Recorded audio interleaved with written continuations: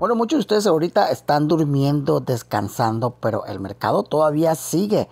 Ahorita Terra Classic se encuentra con el precio de 26.64 con un aumento todavía en verde con 9 con 10.10% que eso está cambiando un poquito sube también baja un poquito, pero se mantiene todavía ahí en ese precio.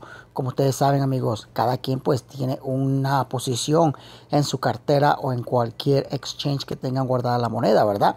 Ya no importa si la moneda va a llegar a un dólar o no va a llegar, como todo el mundo está diciendo. Lo más importante es que nosotros saquemos ganancia, que cada quien quiere sacar ganancias. Si tú pusiste 100 dólares en la moneda cuando tenía cuatro ceros o cuando tenía un precio más bajo, entonces tú quieres sacar algo de ganancia al momento que los precios estén subiendo. O sea, no es necesario que esperes hasta que llegue a un dólar si es que llega o un centavo. Lo que debemos esperar solamente es el precio. Si no quieres acumular más monedas, entonces tenemos que esperar un precio para poder hacer tan siquiera mil dólares de los 100 dólares de inversión que hicimos o 10 mil dólares o tan siquiera 50 mil dólares. Pero para eso tenemos que esperar un precio más elevado o acumulando también más monedas. Mientras más monedas tengas, entonces va a ser más el valor al momento que la moneda se esté subiendo.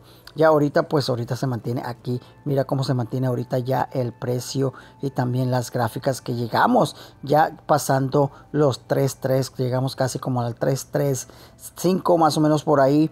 Y aquí estamos viendo todavía esa misma resistencia. Se mantiene todavía la moneda en ese mismo nivel. Ya que estuvimos en los últimos 7 días, pues estuvimos aquí abajo con 3 ceros con 12. Y desde ahí empezamos a escalar poco a poquito.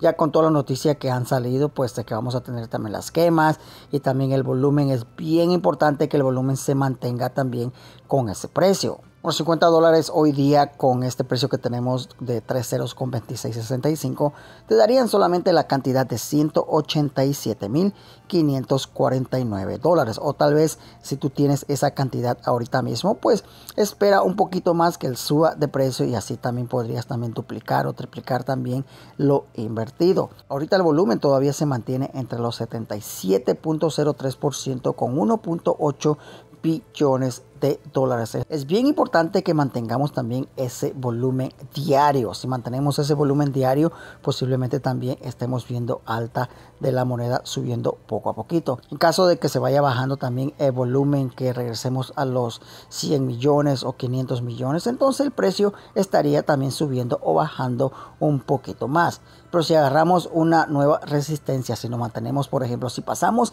hasta el número 3 o el número 4, si es posible, o el 5, sería estupendo y que se quedara ahí por un tiempo más hasta que ya implementen las quemas que van a estar haciendo también los exchange. Ahorita el volumen, la mayoría del volumen que ahorita vemos aquí es por parte de Binance. Han habido más exchange en Binance. Es por eso que tienen casi el 60 o el 75% del volumen que viene por parte de Binance. Y el resto pues ya son de los otros exchange y de donde viene también todo ese dinero para comprar la moneda. Se han ahorita, hasta ahorita se han hecho más de 3 trillones de trade que se han estado cambiando de moneda. O sea que la moneda de Terra Classic está bien solicitada y es bien popular ahorita mismo ya en este mes. Ya viendo aquí el CAT de mercado que se mantiene con 1.7 billones y el mercado totalmente diluido, el CAT y el CAT de mercado totalmente diluido se mantiene en 1.8 billones de